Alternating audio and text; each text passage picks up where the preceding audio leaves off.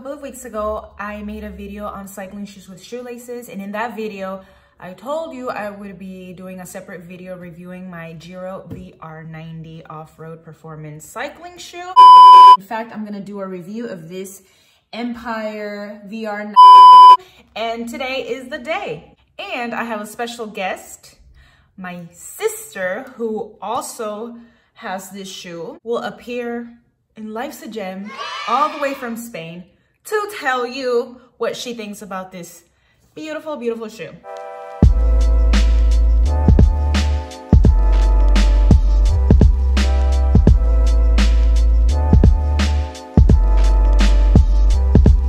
This is supposed to be a lightweight shoe.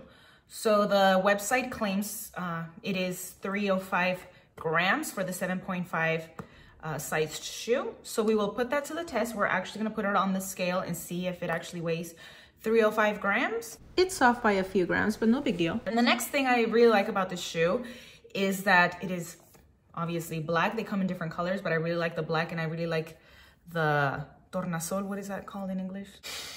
Iridescent. These shoes come in this travel sized baggie. And in the bag, you will find customizable insoles, which is actually really cool. You can always stick these insoles in your shoe to adjust adjust it to your needs or your comfort level. I've never used them before, but I think it's pretty cool that they, you know, add this for you. And it also comes with extra shoelaces. I've never used these before, but I think I will change them. And look how nice it's going to look with the iridescent logo. Ooh. When you go traveling, sometimes you put your shoes with the rest of your clothes and everything gets muddy and messy and blah.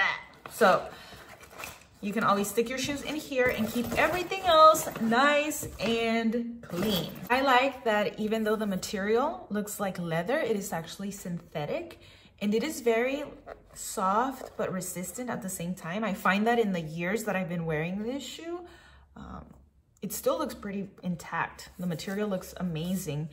So they won't stretch with weather or wear.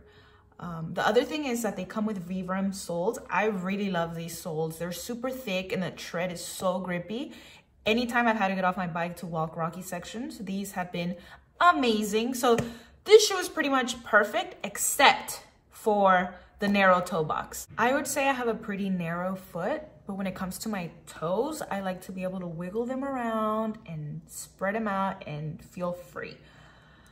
But I cannot do that with these shoes. And part of the reason why is because I think you need to size up. If you decide to get these shoes, I recommend that you size up at least half a size because uh, yeah, the the toe box is, is definitely an issue. And for the rest of your foot, if you have a wider foot, then that's fine because you can always adjust your shoelace. But if you have that problem where you feel like you you get anxiety if you can't like spread your toes, then I highly recommend that you size up. And that's it. Other than that, everything else is amazing. I really love this shoe. Actually, my sister got these shoes first and she loved them so much that she convinced me to get them for myself. So if you wanna know why she loves these shoes, all the way from Spain, here is my beautiful sister. Thank you for helping me with this video and come back soon so we can ride bikes and be shoe twins again. Hello everybody, my name is Ale Casillas. I'm Gemma's sister and today she asked me to do this really small video for her um, talking about my cycling shoes which are the Giro Empire shoes. They are black, they have the holographic logo in the front and they have laces. These are the mountain bike shoes, which I really, really love because they allow me to walk when I'm riding. If I want to stop and take a picture, um, I can easily get off my bike and walk on them. So I love the the mountain bike shoe version. They are really sleek, as you can see. Well, at least I think they're sleek. You can easily switch out the lace.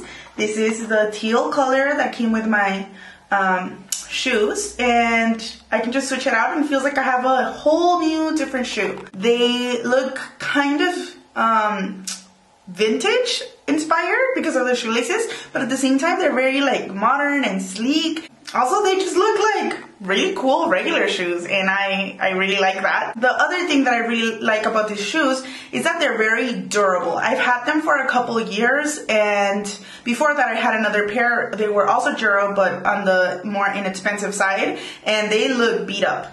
But these I mean, they did not look like this earlier today. I wiped them with a towel, the damp towel, and then I rubbed some of that leather grease on them.